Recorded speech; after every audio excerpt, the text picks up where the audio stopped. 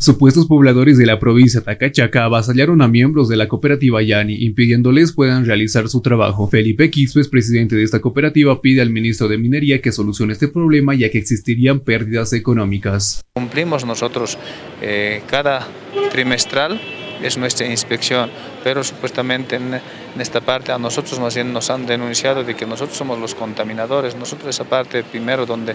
fijamos y también velamos lo que es el medio ambiente, ¿no? entonces eso es lo que nosotros exigimos en este momento, eh, que, que haga respeto, que haga cumplimiento a la ley. Y sería desde el 27 de mayo es este que, hemos, que nos han coartado de nuestros derechos y también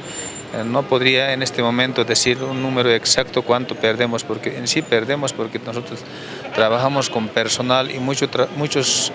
eh, trabajadores que están sin trabajo en, ese, en ese lugar, en ese campamento, que están esperando a diario, pensando que nosotros muy pronto vamos a dar la solución, pero vemos que un poco se está eh, llevando a tiempo, por eso nosotros tenemos que, no hay de otra manera que tenemos que constituirnos en aquí y para exigir más que todo al gobierno central y también a los ministerios donde corresponde.